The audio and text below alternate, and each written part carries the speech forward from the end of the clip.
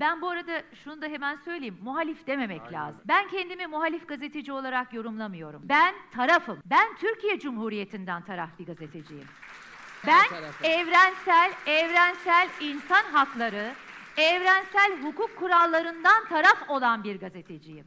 Muhalif olan onlar. Yani evrensel insan haklarına muhalif olan onlar. Halkın haber alma özgürlüğüne muhalif olan onlar. Türkiye Cumhuriyeti'nin yani layık, demokratik hukuk devletine muhalif olan onlar.